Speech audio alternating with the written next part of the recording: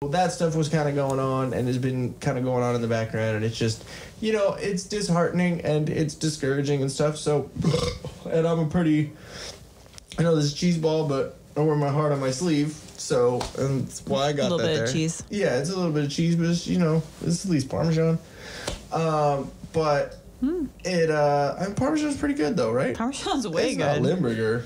It's not like some like Stinky cheese. regular like American cheese. I like American, obviously, but American cheese is kind of shit. It's not real cheese. No, it's gross. It's processed. Yeah, exactly. It's like a Kraft Single. Th- th- American cheese is a Kraft Single. Oh yeah. So then there we But go. what is American cheese? Uh, processed. Look crap? it up, actually. I don't what, know what is. What is American cheese? what is it made out is of? American is it actually cheese, cheese? Watch, it's gonna say cheese product. But what is a cheese product? My dad just sent me a text message. Uh, obviously, a picture that says "looks familiar," and I'm like, I don't want to go down that rabbit hole right now during the podcast. But It's another naked picture of you. hey, you definitely have had some kombucha. it's really Uh, tasty. What is it? Uh, what was I just? American cheese. American cheese. What is American cheese? Uh, I can't type.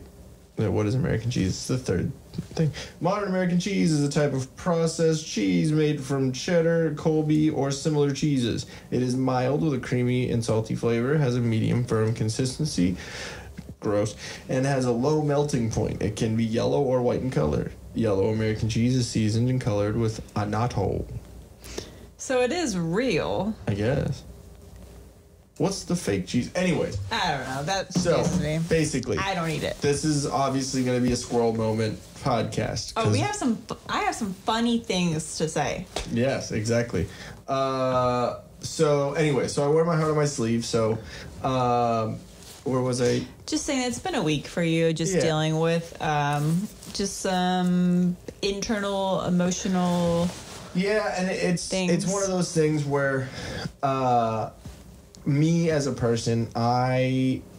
Uh, and I know I'm not perfect. I'm human, and I don't always actively listen, and I don't always, you know, uh, do my part in that. But I, I try. I try my hardest to be a part of conversations and pay attention to people, and do all that. And it's and it seems like a, a lot of times, and it's not you know, it's not just one person.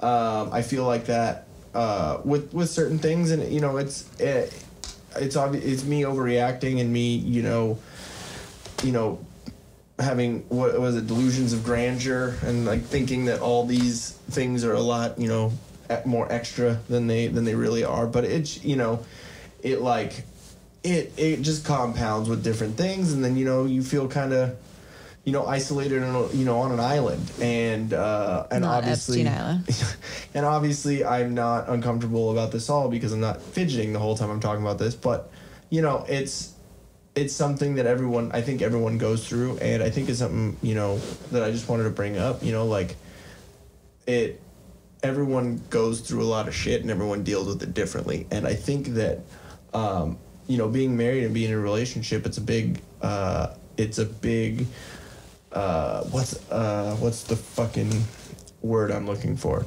um, it is oh it's a big ob- it's an obligation for the person that you're with to you know have something you know to try and to try and help or try and at least talk about it and I believe it's on I don't think obligation is the right term. I don't. I don't mean it. I think- I don't mean it as obligation, but No. that's the word that came Um, first. In my opinion, and that's an, it's also going back to like kind of a cue of whether you're with the right one or not is do you think that your significant other is going to be your partner in crime or be there always to support you with everything? Because if you feel like you don't have someone there um, to be on your side and to listen um, or to give advice then you know then then you're not with the right one. Yeah. Like you need to be able to feel like if you're upset with the world but you can be at home with the other person and and whether you're talking it out or just sitting in silence with them um, then you know you know you're with the right person Yeah. having that comfort And with me, and the, I think the thing too is being, um, is being able to talk with the other person, being able to like feel comfortable enough to say something. Like the way that I am is, and you know uh, know this obviously, is the way that I am is if we get a little cranky with each other, a little pissy, you know, no matter who's right or who's wrong or what the situation is, I I know that I overreact to things, and I am good at. I'm gooding. I, my mouth is good at getting me in trouble by saying dumb things that I either that I either don't mean or I say them in the wrong way because I, I just get out like hard on the sleeve. I just get out whatever I feel. So I try and walk away. I try and walk away from the room, woo-saw, smoke bowl, do whatever I need to to just okay, rethink the situation, make sure that I'm not being an asshole or if I am, if it's somewhat justified. Mm-hmm. Because I mean, sometimes you got to be an asshole. That sometimes you got to be an asshole to get your point across, and that sucks. But you know, just like with situation, if I, eh, you know, that I, you know, I've been going through that I'm not fully gonna get into. but just like that situation, if I don't put my foot down and I don't tell someone the way that I feel, they're going to continue to do that and it might not be their fault at all because they, they just don't know that, that that i feel that certain type of way so i'm pretty honest when it comes to it. I'm pretty upfront. Again it might take me a second to go walk off and go cool off but i will be upfront about it. Like uh, because again then i can't get mad at you or whoever the person is for acting a certain way that i don't like that they might not notice that they're doing or they might they don't know that i don't appreciate you mm-hmm. know? So that then then it's not fully on them then it's on me. And so and you have to like a lot of times nowadays you have to like especially with uh, let me i said two different fucking sentences at the same time. A lot of times nowadays people don't have accountability and they don't they aren't accountable for their own actions in the situation. You know they're not they don't they won't sit there and realize like oh hey like i might be fucking up. And how can i what am i doing in this situation to make it worse or make it better? And so sorry a burp was coming up helping me uh stop that whole rant. But basically, what I'm saying is, you have to you have to have communication and be upfront and be honest. Don't be a fucking dick about it, but be honest with the person that you're with, that so they know where you're coming from. Like with me feeling the way feeling alone and isolated and in my own head about stuff and feeling that way i told you about it. And w- because you're, you're it's good right? It's good mm-hmm. for me to talk to you about it. And i personally didn't get the response that i wanted i wanted some like oh it's okay babe blah, blah. i just I, I wanted obviously i knew it wasn't you know it, it wasn't uh it wasn't super crazy. It was just me and my feelings. You know what I mean?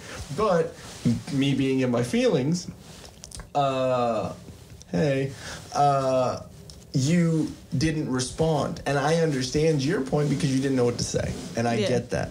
But you didn't respond, and that made me a little more pissy, just because it wasn't the response that I wanted. And I know that's not on you. I know that's on me too. You know, it's it's fully on me. But so I got pissy. I walked away. Was you like, were literally talking "Ah." to someone who was half asleep on the couch, Yeah. and No, so I was know. like, I don't even, I don't even know how to respond. In my head, I'm like, Mm. this is awkward. I don't know what to say right now. yeah.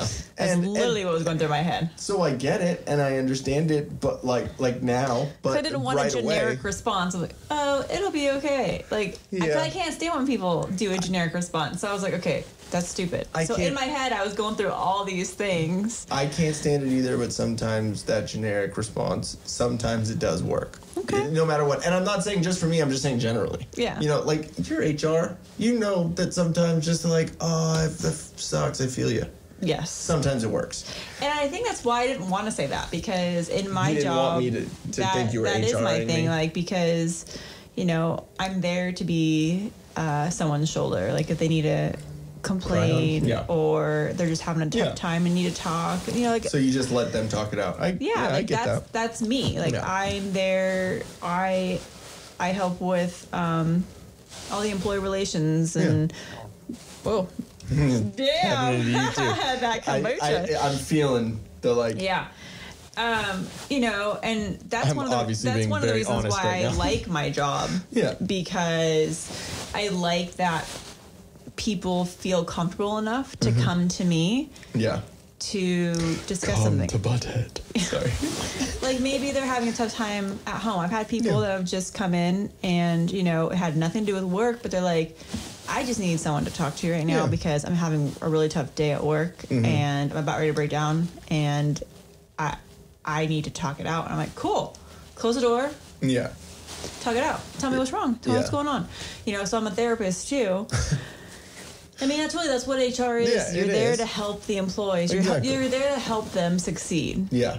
and you know a big part of succeeding at your work is succeeding at home and your personal life so Yeah. if someone's dealing with because we all bring personal to work we all do Yeah. because we're human Exactly. So you know and so i see it on a daily basis so i was not very hr with you last night and i feel bad No, I and and but at the same time, you you didn't un, you, you were half asleep. I like I understand that. I, again, like coming from afterwards and real and sitting there and seeing it, and then after we had talked, which uh, which was what I was getting to. I was basically I walked away because I was pissy and I didn't get the response. I was already pissy, then didn't get the response that I wanted from my wife, which I figured I would at least get. So then that's that made made me more pissy. So I walked away instead of like ah, uh, you know, walk away, woosah, count backwards from ten, fucking don't Kyle it out you and did, punch a you wall, did your whatever laundry fucking I don't know if you gotta go fucking jerk it, do whatever you do. I'm saying if you gotta like go and calm your face, whatever your wusa is whatever it is,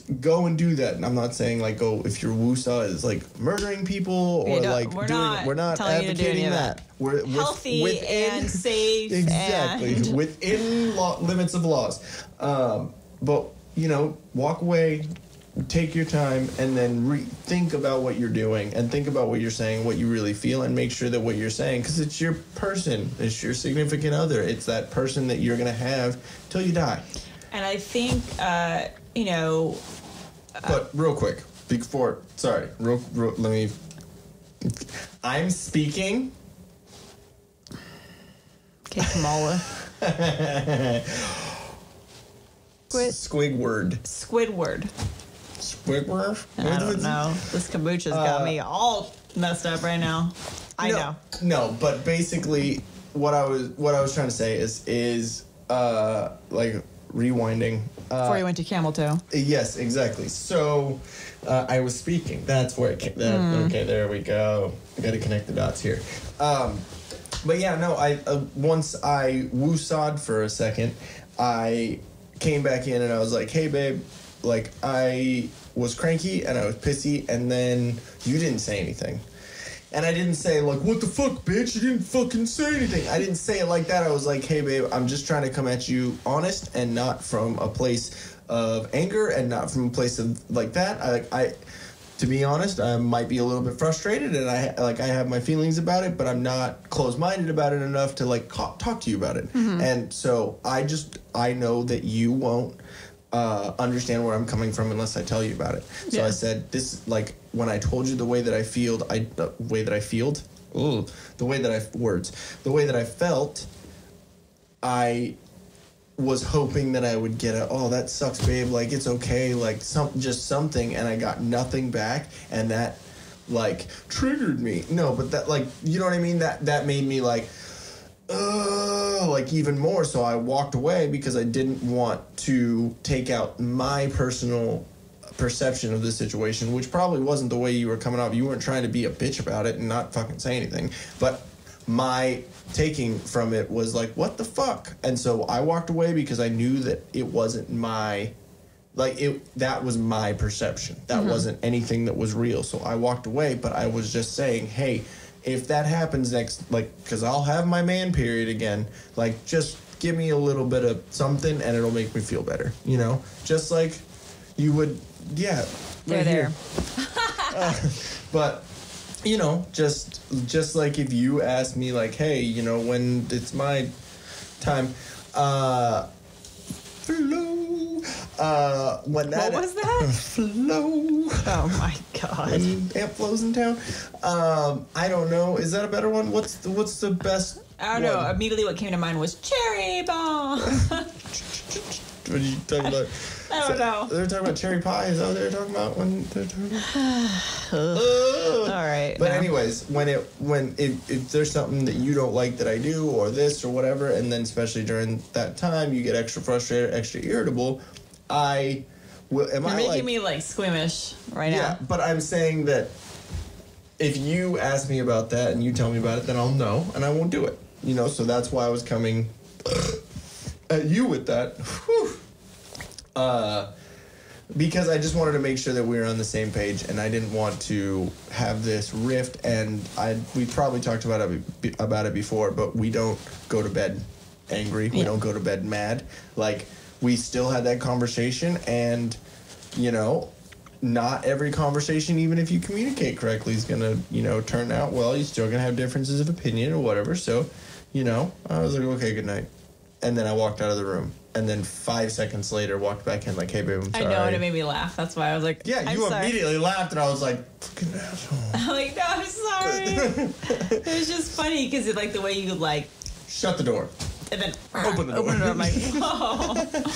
No, I mean, and it's it's a big thing with me because like, and you know that's another that's a, kind of one of the reasons why I was like, well, I'm getting fucking deep in the way I feel for some this is fucking kombucha. Cheers. Um, but uh, but Should yeah, we like bring out the yoga mats and I, like sit I on don't know those? where's Like, where's the poof. Um, damn it. but no, I mean, sometimes you gotta you gotta just express your your shit. I don't know. I I, I was gonna go somewhere with that, but then I Express lost it. I lost it. It was just kombucha. Um, all right. So before we get into the next little thing, let's uh let's take a little break. Yeah. Yeah, sounds You good with that? All right, cool. We'll just chug the rest of this real quick. Yeah, probably not a good idea.